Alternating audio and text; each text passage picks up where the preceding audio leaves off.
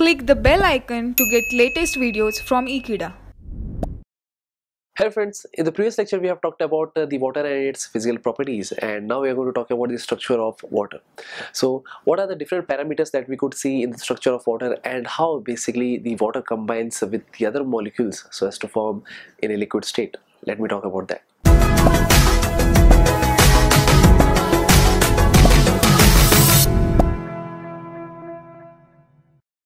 So talking about the structure of water, so H2O basically known as water, in this case basically oxygen is the central atom.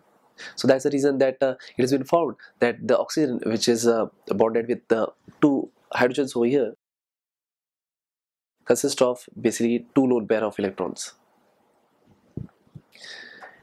And meanwhile, uh, through hybridization, it has been found that uh, the oxygen is exhibiting sp3 hybridized structure and because of which basically the structure that should be of H2O it should not be planar.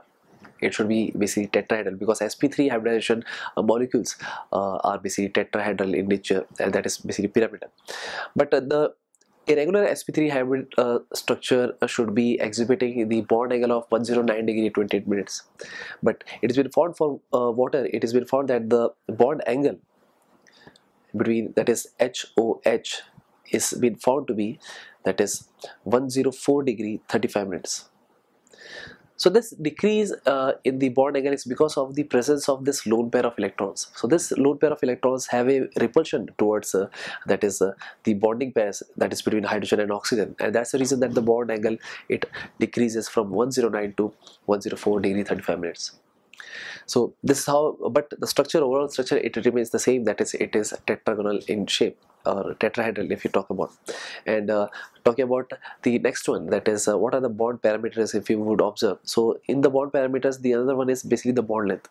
So the bond length and uh, that is uh, between uh, obviously that is between oxygen and hydrogen it has been found to be that is uh, 95.7 picometer so these are certain things that i'm uh, mentioning about. So this is certain uh, parameters that i have discussed uh, uh for the structure of water. Water is uh, the one which is basically present in a liquid state at normal temperature or in atmospheric pressure that is uh, where we are living in.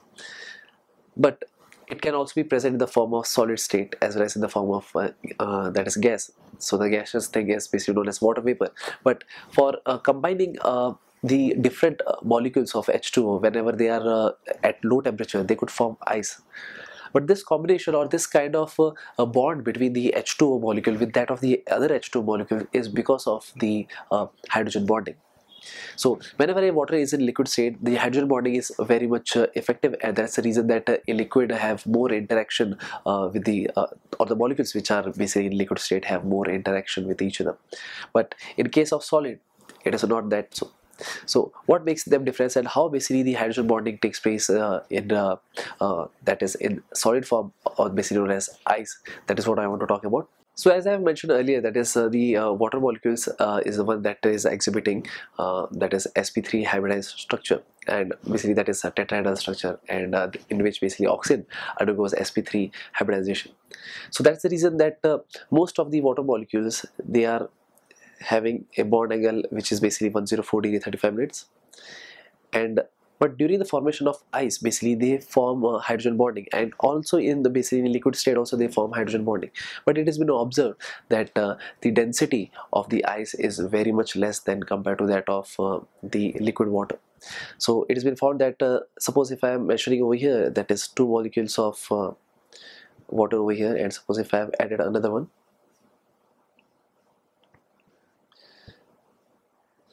So in this case, basically the hydrogen bonding is between the hydrogen and the oxygen over here. And this kind of network, it will go on.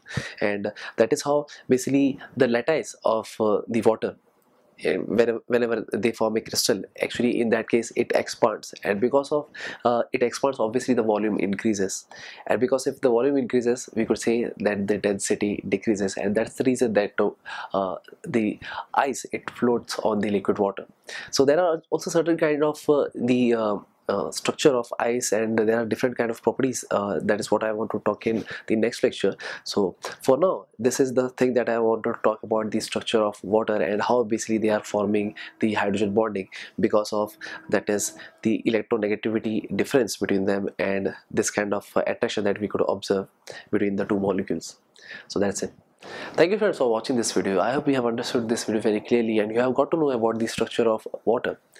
So till then, I'll see you next time and don't forget to subscribe e channel. Thank you so much.